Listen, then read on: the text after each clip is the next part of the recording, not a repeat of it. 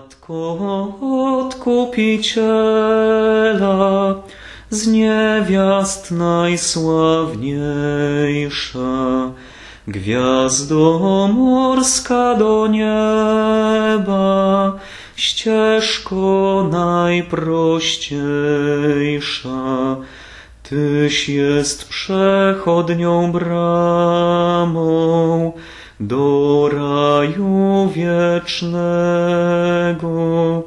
Tyś jedyną nadzieją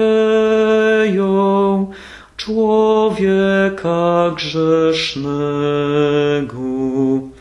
Racz podźwignąć prosimy, lud upadający, w grzechach swych uwikłany, powstać z nich pragnący. Tyś cudownie zrodziła światu Zbawiciela. Tyś sama wykarmiła Twego Stworzyciela.